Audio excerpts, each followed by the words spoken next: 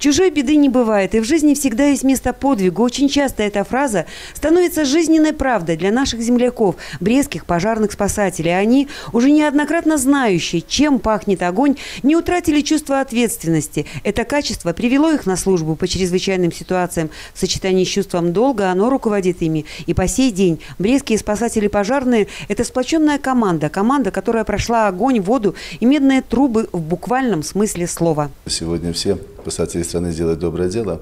Ну а сегодня, э, изучая ситуацию, самое главное по профилактике, предупреждению гибели людей от пожаров, так как в начале года был всплеск, на несколько выранивает, но тем не менее мы не успокаиваемся.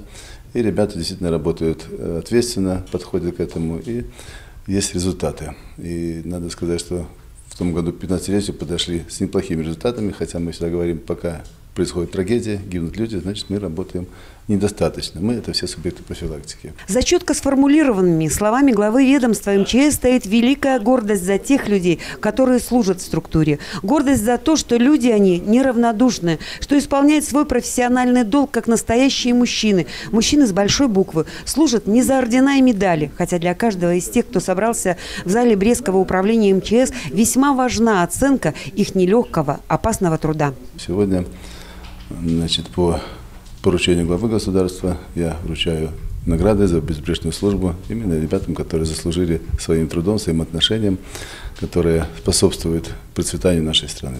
В первую очередь, конечно, я буду их благодарить за работу. А пожелание, пожелание такое, чтобы мы как больше времени уделяли оттачиванию мастерства на полигонах, на учениях, на занятиях, и меньше было бед. И задачу какую-то поставите перед тем коллективом? Ведь уже... Задача перед нами стоит. Она поставлена главой государства, она поставлена нашими функциями, задачами. Надо их четко и слаженно выполнять.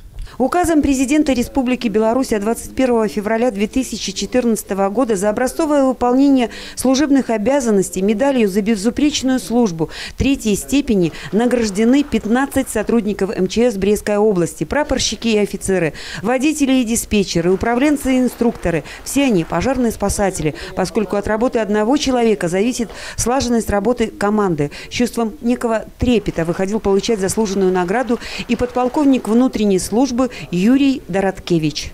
Тревога. Приятная тревога, наверное, прежде всего.